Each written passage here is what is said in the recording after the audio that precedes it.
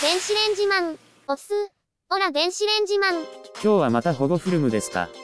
何回買えば気が済むんですか？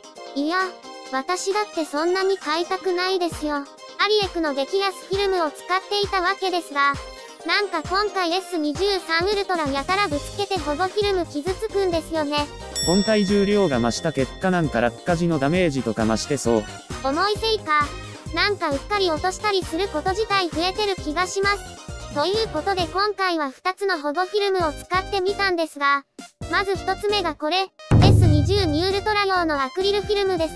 いや、機種違うやんけ。先日秋田滞在中に保護フィルム破れまして、代用品を探しにケーズに行ったらこれしかありませんでした。ギャラクシーのウルトラシリーズ。高いからか保護フィルムとかケースの品揃え悪い店が多いです。都市部などの大きな店ならまだしも、地方の郊外の家電量販店だとあんまり在庫多くても売れ残っちゃうんでしょうね。以前アリエクで買った S22 ウルトラ用の保護フィルムが使えたので、これもいけるのでは？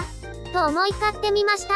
特徴としてはアクリル樹脂製で頑丈、高透明、そして 3D 形状で画面をしっかり覆ってくれるらしい。あれ ?3D 形状ってやばくないですか？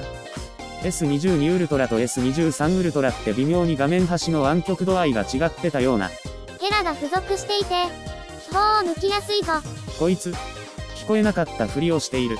貼り付けキットの突起にフィルム端の1リ目用の穴を通して挟むことで、完璧な位置にフィルムを貼れるのもメリットです。で、貼ってみたんですけど、気泡がね、めっちゃ残るんですわ端に。やっぱり 3D 形状が合わなかったんですね。寝て起きたら勝手にフィルムが浮き上がって、両端が完全に気泡に覆われた感じになってたりもしました。あとね、指紋が残りすぎ。これ S22 ウルトラで以前買って使ってたことあって、その時はそこまで気にならなかったんですけども。しかもフィルム1枚で2000円くらいしたし。S22 ウルトラで使うとしてもコスパ的には微妙かもですねこれ。ということで、Amazon から別のフィルムを取り寄せてみました。オーバーズというところの TPU フィルム2枚セットですね。価格は998円なので、Amazon で買えるフィルムとしてもそれなりに安いです。1メートルの高さから 130g の鉄球を落としても大丈夫なくらいの耐久性があるらしい。ということで注文。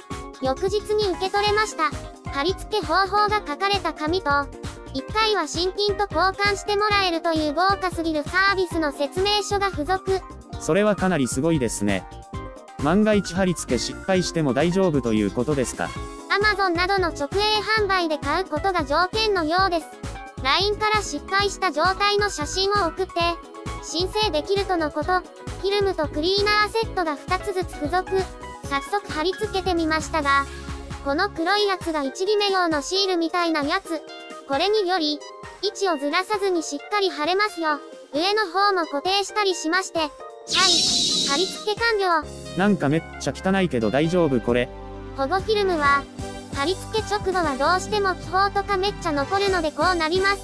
1日置けばほぼ気泡は消えまして、4日ほど使ってますがもう気泡ゼロです。なるほどね。オーバーズの保護フィルムの感想ですが、かなり良い感じですね。画面の発色の良さが損なわれることはありませんし、指紋もそこまで付着せず、非常に薄くて、何か貼ってる感が薄いのも良いですね。アリエクのフィルムと比べてどのくらい耐久性があるのかは、今後使ってみないとなんともですけど。